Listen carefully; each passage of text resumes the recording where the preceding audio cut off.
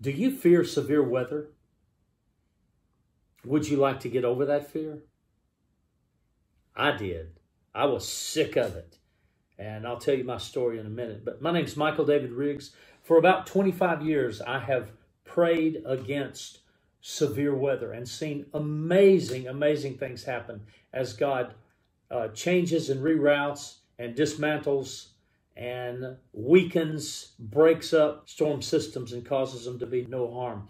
Uh, in 2012, I started compiling a book of those stories, along with stories from other friends who participated in the same way, along with Bible principles that we need to operate on. So I really encourage you to check out on Amazon the book Praying Against the Storm by Michael David Riggs. That's myself. And uh, it's available in a Kindle download in, in ebook format. It's available in two uh, paperback formats. One in color because there are four or five pages of graphs, weather maps in there, weather charts that the color really enhances. But it's also available in a much less expensive version in just black and white paperback. Praying Against the Storm by Michael David Riggs on Amazon.